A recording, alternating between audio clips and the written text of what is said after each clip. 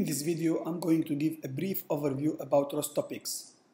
ROS topics represent one of the most important features of robot operating system. They allow asynchronous communication between publishers and subscribers and allow to exchange messages between different nodes in the ROS ecosystems.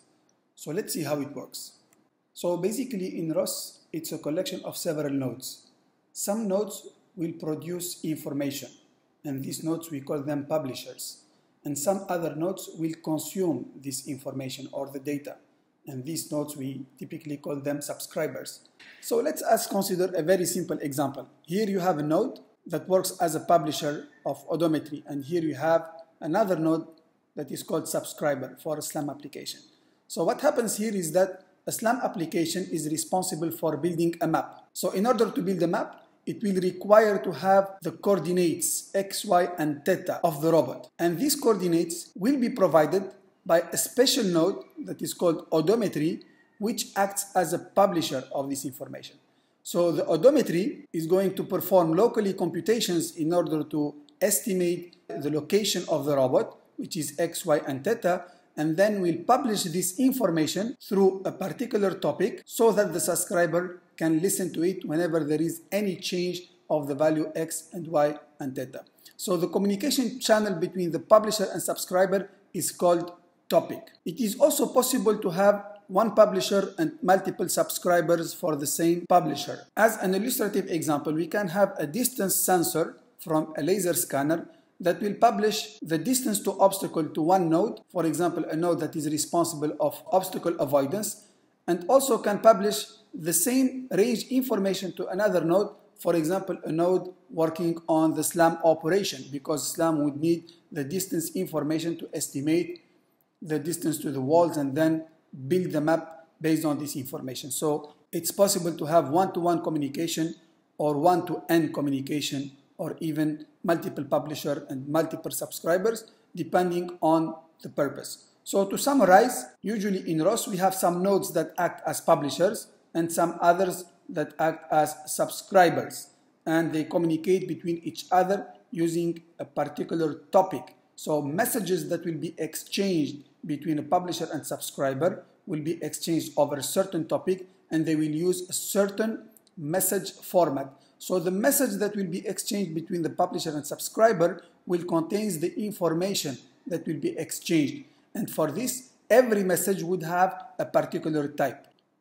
In the lecture where we have presented topics, nodes, and messages, we have already explained these concepts.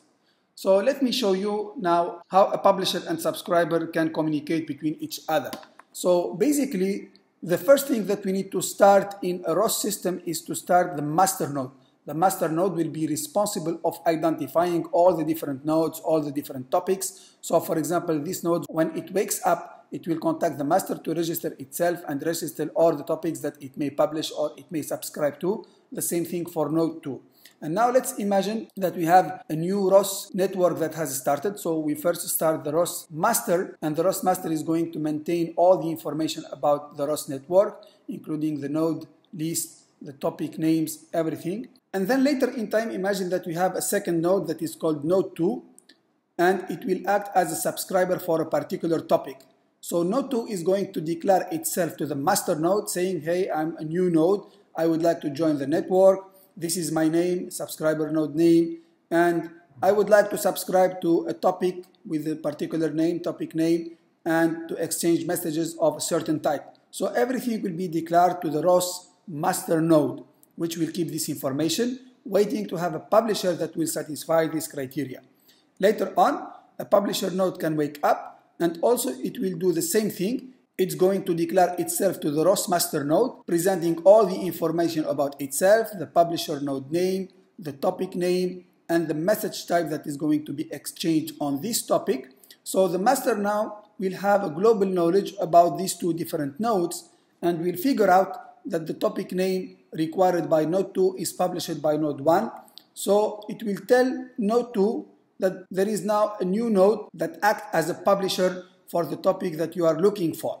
So in this case, Node 2, when it receives this information, is going to send a request for a connection with node 1 using the TCP ROS protocol and then node 2 will send back a response to accept the connection and start the communication with node 2. So at this time the subscriber node will create a client for the publisher node using TCP ROS and connects to the publisher node. So the connection will be established at this point in time and the communication between the nodes using TCP IP based protocol can start between the two nodes.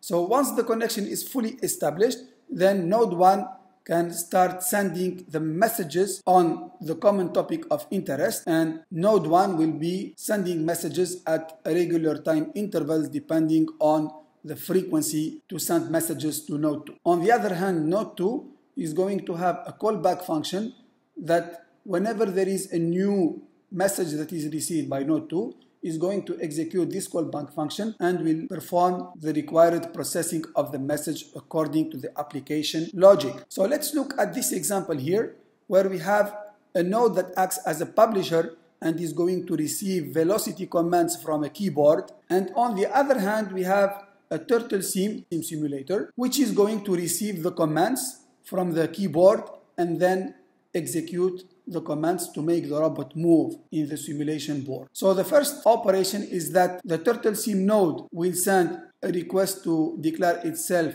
into the master node so it will tell him about the node. This is the name of the node, turtle sim. This is the name of the topic he will be waiting commands on. It's called turtle1 cmdvel. And the type of messages for this topic is the twist message. And the twist message in ROS is used to send the linear speed and the angular speed of the robot. So the second step is that the publisher node is going also to declare itself it will tell the ROS master about its uh, node name, teleop turtle, about the topic is going to publish and about the type of the message for this topic.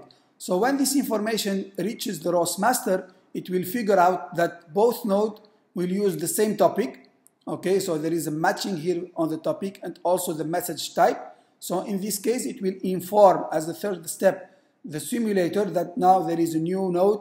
It's called TurtleBot Teleop. So contact this node in order to have the information that you need from it. So in this case, the turtle sim node is going to send a request to the turtle teleop key node, and then the teleop node will send back a response and the connection will be established.